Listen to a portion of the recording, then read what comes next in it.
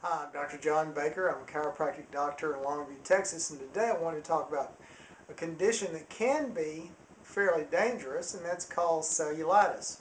First of all, cellulitis has nothing to do with cellulite, that dimply cottage cheese appearance to fat. No, cellulitis is a diffuse inflammation of connective tissue, especially the dermal and subcutaneous layers get extremely inflamed and infected and the presenting symptoms are often the same symptoms you'd expect out of inflammation. It's going to be warm to the touch, there's going to be swelling, it's going to be painful. And for example, if you have an area like that, like, let's say a toe that starts getting like that, you might start seeing streaks.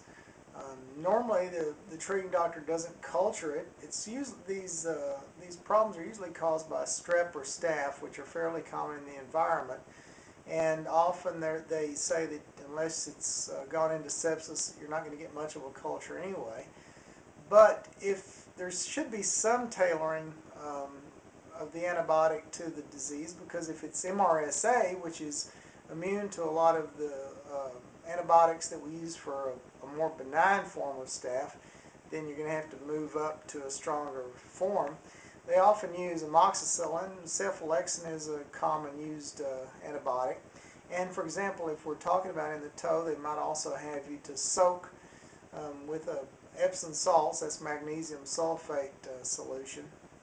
The two most common areas to uh, get cellulitis are in the lower limb, lower extremity, lower leg, and in the face. And it can happen as far as, you know, what causes it. Well, you might have a break in the skin, a cut, a scratch, but you don't have to have that. And usually it attacks folks who are elderly, folks who are for some reason immunologically compromised, or folks who have diabetes. So those three groups really need to be careful. And like I say, it can get really serious. You can get sepsis from this. So you need to be very careful. You can also have another condition going on at the same time called erysipelas. And erysipelas also causes warmth and rubor, redness, but um, the edges of an erysipelas infection are more well defined, whereas with uh, cellulitis they tend to be blurred and spread out and not well defined. So uh, that's the story on cellulitis. Again, it's very important to catch this early because it can become very serious. It can cause tissue destruction. In fact, it can be so bad they have to debride or cut out the dead tissue, and you certainly don't want that on your face.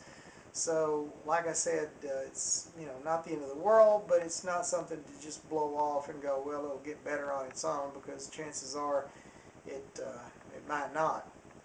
And uh, I hope you don't get it. I hope you have a great day, and I hope this helped you understand what cellulitis is.